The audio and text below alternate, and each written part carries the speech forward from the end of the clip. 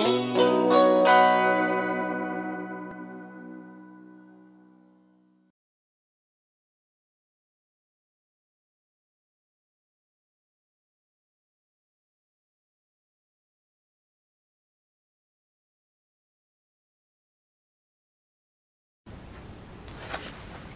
everybody, greetings from Atlanta, Georgia. My name is Andy Runton. I am a cartoonist and the author illustrator of the graphic novel series Owly. Owly is a kind-hearted little owl, just wants to make new friends and go on adventures, and his bestest friend in the whole wide world is Wormy, who usually sits up there on top of his head for safety. So, you can see this book is full of pictures and full of illustrations because I love to draw and I know that you do as well and that is why we are here and I am going to show you some little secrets um, that hopefully you can use to draw just about anything that you want to. Um, what I'm really talking about here is a process called penciling and then inking. Um, it's sometimes referred to sketching and referred to as sketching and a few other things. It doesn't really matter. The whole point is that you start out with a pencil and you plan out your drawing and then you go over it with a pen. You don't start off with pen. Um, the important thing to remember is that 99.9% of every artist out there uses this technique um, and it's all invisible to you because you don't see it on the page. Uh, what happens is the pictures start out in pencil and then the artist inks over them and then they erase the pencils because ink doesn't erase and so that part is missing and gone. So I want to share that with you right now. And the best way to explain it is with an example. Does everybody know who this little guy is? He was one of my favoriteest characters when I was growing up, and I love to try to draw him. So let me show you what I'm talking about with penciling and inking. When I was little and I wanted to try to draw Snoopy, I would draw him just by trying to do the outlines, right? I would do his ear, and then I would do his head.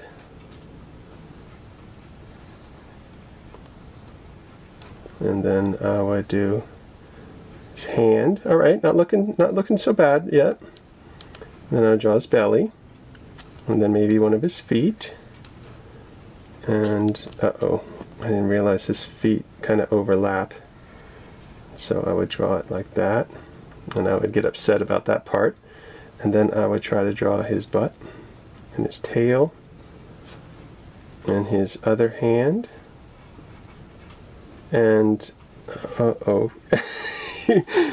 It looks like he swallowed a puzzle piece or something. Uh, but I would try to keep going. But I would look at it and realize that that was a very sad Snoopy and I would just stop. And I would abandon it. And I wouldn't know what to do and I'd get frustrated. How many of you have drawings that look like this in your sketchbooks or around the house, right? This is what happens when you try to just go right to inks. Let me show you how I would draw Snoopy now. And I'm going to use uh, the penciling and inking techniques, all right? I'm going to do this fast and then we're going to break it down a little bit and draw Owly together and a few other animals. Don't worry if you can't keep up. This is the way it starts with just a whole bunch of little shapes. I'm trying to plan them out, get the proportions right, get all the pieces where I want it to go. I drew his head a little big. I'm going to adjust it. Draw his eyes in there, his nose. Draw his fingers, tail. Alright, now that is a very messy Snoopy, this is the part of the process that you don't get to see, and I'll show you. Now I'm going to go over my own pencil lines with ink.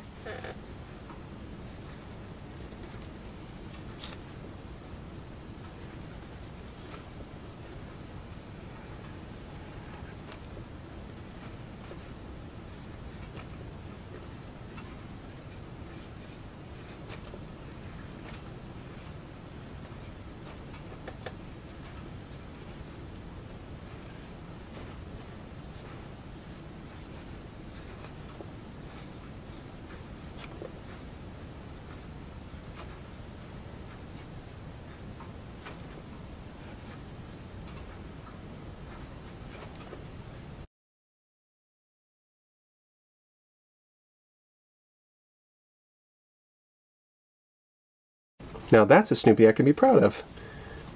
And if you notice, you can't even see the line work anymore. I mean, the pencil lines, right? You can't even see them. In, in fact, if you do me a favor and squint your eyes just a little bit and then look back at the picture, you'll notice that you can't see the pencil lines at all. So what happens is that artists sometimes erase this or they take it into the computer and they make the pencil lines go away. But you never see this part and that's why it's important to understand that everything starts out messy and then gets cleaned up. Why don't we try to draw an uh, animal that you may not have ever tried to draw before together? Let's try to draw Owly. we're going to do the same thing. We're going to sketch it out first in pencil and then in pen. So everybody get a pencil and a pen and join with me. When you want to try to draw something that you've never drawn before, the best thing to do is to start breaking it up into shapes. I did that with Snoopy, and I want to do that with Owly now. Think about it as if you're trying to make Owly, in this case, out of Play-Doh, right? You would start out with just a, a round ball, right? So that's what we're going to start off with, is a circle. And notice, I don't care that it's messy. I'm sketching it out. The whole point of the pencils is to be messy and not worry about those kinds of things. Go ahead, draw your circle. Now I'm going to draw his eyes in. Those are also circles. All right? And they overlap. And that's okay. Now I'm going to draw his uh, beak, which is a little bit like a um, upside down teardrop, right? And then I'm going to draw his other part of his beak here, which is just a triangle. Now, it's already starting to look like Owly a little bit. We're going to draw his feet. Now his feet, I like to draw as little circles. Almost looks like there's little dinner rolls that are down there. And then I'm going to take a little chunk out of them, a little pizza slice with a V. You'll understand that more when I start to ink him. The next shapes that we need to draw Owly, I think it's all triangles. And a triangle for his ears, triangles for his wings, and then Wormy is just a circle, another circle, and then you kind of join them together. And that's it. This is the basic shapes of Owly, and this is what I do when I pencil it out. Sometimes you can go back over and uh, make sure that all the lines are where you want it to be, where you want them to be. You go ahead and add in his eyes, and then you want to draw in the background. And this is hard to do, but this is the way you draw a background. You draw through the character. Again, this is the pencil lines. It doesn't matter. It's supposed to be messy. So we're going to draw in that hill right there, right through Owly. And we're going to draw the trees the same way. That makes sure that everything lines up.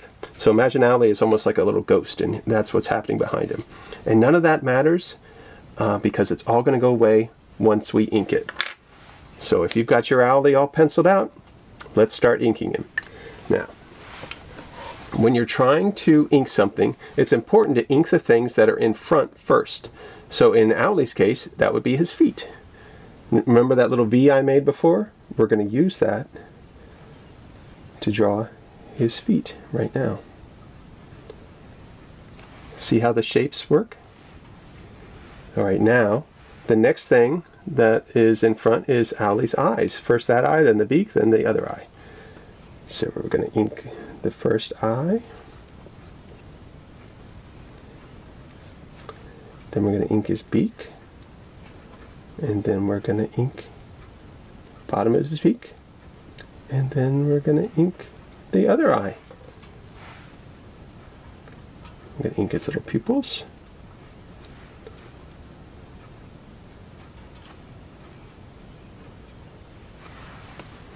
It's starting to look like Owly. Now I'm going to ink his hands. And notice they overlap, but that doesn't matter. I'm not going to ink the part that overlaps, just like I didn't with the eyes. And now I'm going to ink his body. And if you see, don't go through that part.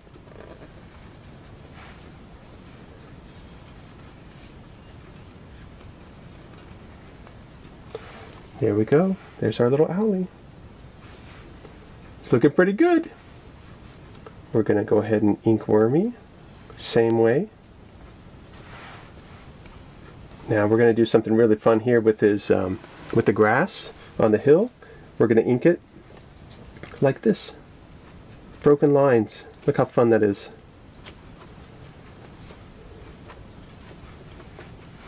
Now we're going to ink the trees in the background.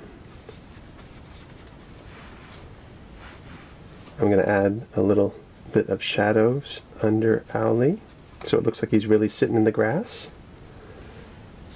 Wormy's going to be really happy. And then when I'm all done, I make sure that I sign it. If you're proud of your work, you always got to make sure that you sign it. And that's how you pencil and ink drawings. You can see how fun it is. Because I didn't really get frustrated. I planned it all out, and then I inked over it, and I'm left with a drawing that I'm really proud of. Now, let's try to apply those same techniques to other kinds of animals. So how about we try to draw a little dog. I love dogs. I've got three little rescue dogs. Let's try to draw one of them. Let's start out with a circle for the doggy's head.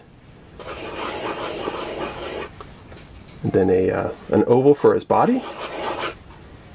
I draw his tail. I draw ears. I'm going to make him uh, big floppy ears. I draw his nose little eyes, mouth, back legs, front legs,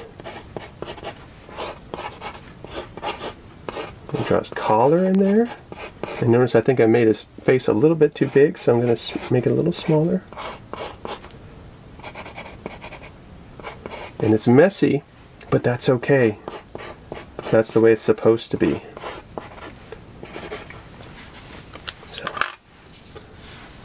Let's ink our little dog. Now, I'm going to use the same technique that I used on the grass to make the dog look super fuzzy. Or how about I'll just make his ears look super fuzzy. Look at that. Super furry ears with just little dashed lines. Maybe a little bit of fur right there. Eyes.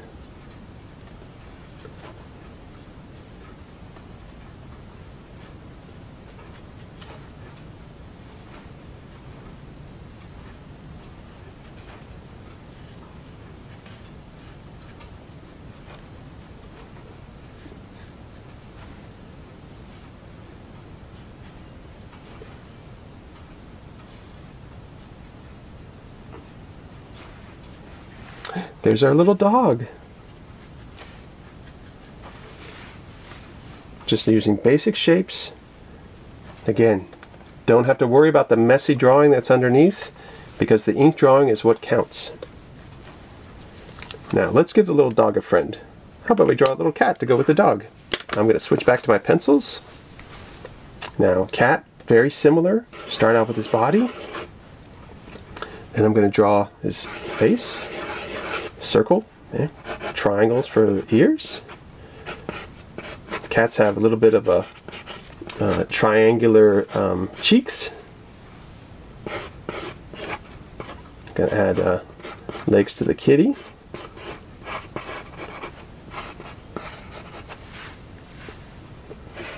Tail.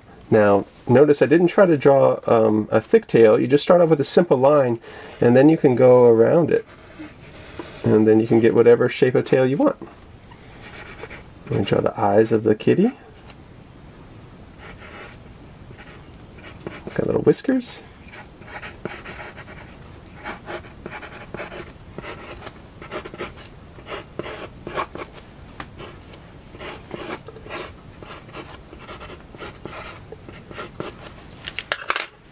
So again, it's very messy, but now we're going to go ahead and ink our little kitty cat.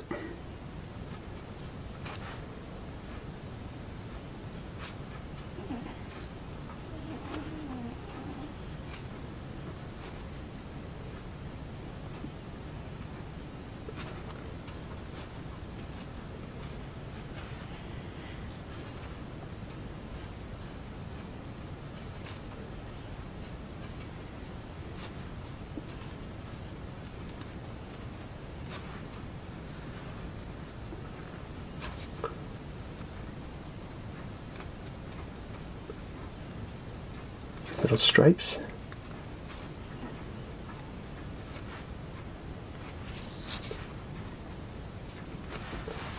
And there's our little kitty cat. Notice just simple shapes, nothing crazy. But how about we draw something on top of the kitty cat's head? How about a little mouse? Shouldn't be too hard.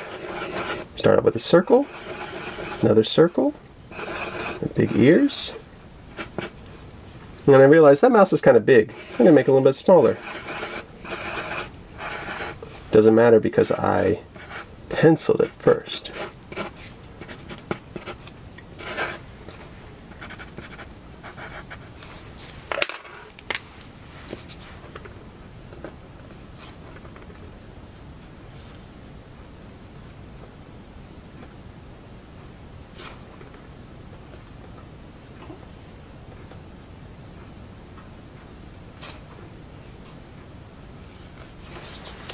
See that? Now notice I haven't gotten frustrated. I've been able to have fun with my drawing. I've been able to let it grow and just enjoy it. Now I want to draw a little bit of a background back there. So uh, how about it's a little farm. Now we're going to draw the horizon line there. And then I'm going to draw some uh, pieces of a fence and draw a whole fence back there. Now notice, there's all this stuff happening back there, but because I'm penciling it out first, it won't be too hard to draw it. You just ink the parts that don't overlap.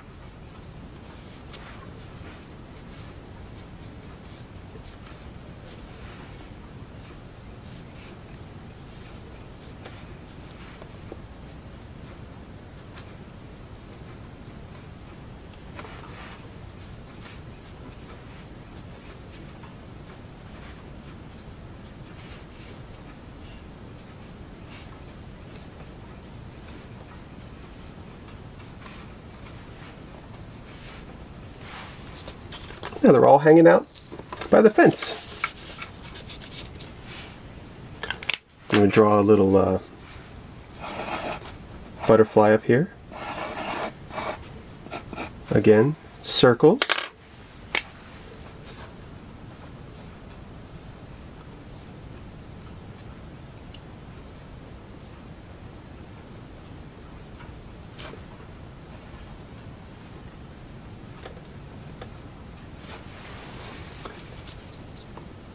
So there you go.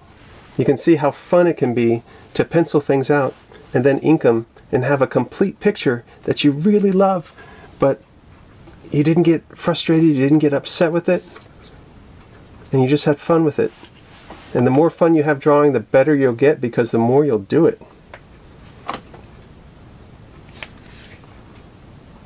And there you go.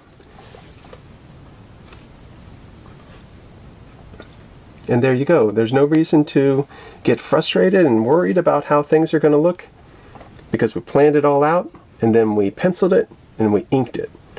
And we end up with something that we're really proud of. So I'm going to make sure we sign it. And now, let's try to draw something that nobody's ever seen before. Let's try to draw a dragon. Now a dragon or any other crazy mythical beast that you want to draw, again, it's just a whole bunch of shapes.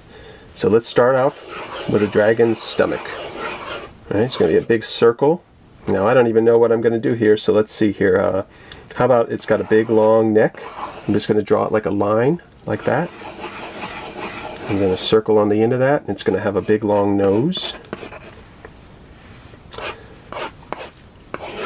And then I'm going to draw its hands and maybe it's maybe it's got little stubby hands.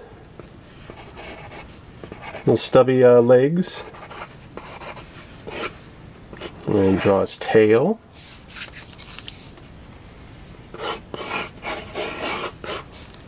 There we go. Go ahead and add some thickness to that neck. Now I want to draw some big wings back here. I'm just going to use big triangles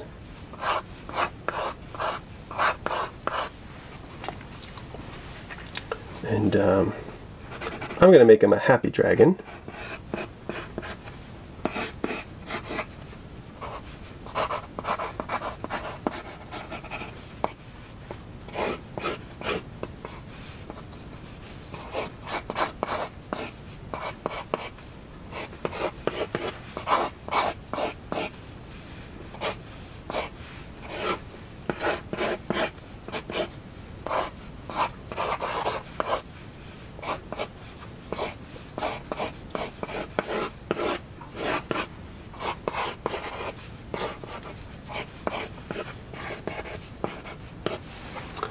Right, that's pretty messy.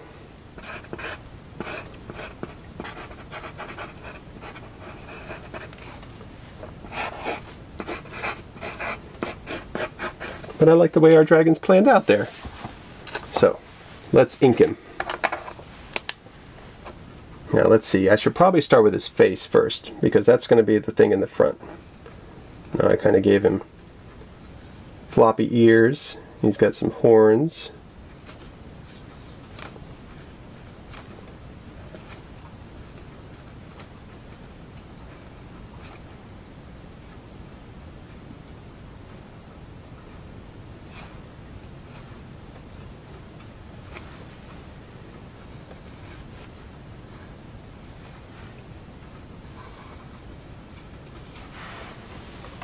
Seems starting to come together. And draw his little wings now.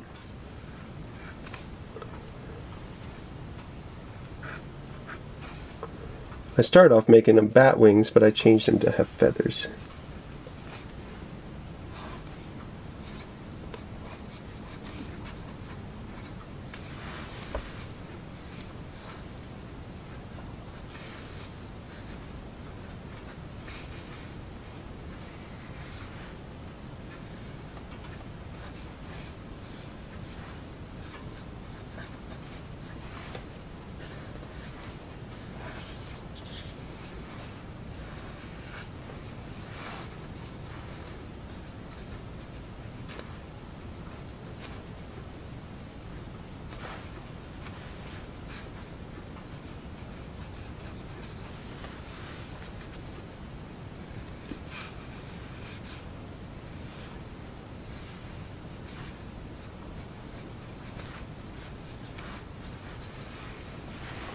And there's our little dragon. What we can do is we can add some little clouds up here. Really make it look like he's flying high. You know, little birds.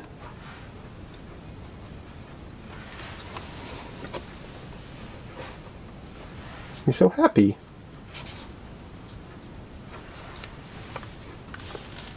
Let's see how fun it was to draw him. Penciled him out, inked him, planned it all out.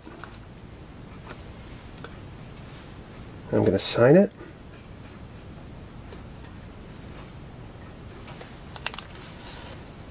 There you go. There's our little dragon.